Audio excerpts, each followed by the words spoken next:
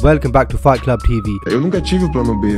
Eu trabalhava numa borracharia. Eu comecei com 12 anos de idade. Na época eu ganhava tipo 5 é, reais por dia. Entendeu? Na época, né? Que pô, pra mim era, já era dinheiro pra caramba. Onde eu sempre me fortaleci é de não querer voltar. Eu não tinha.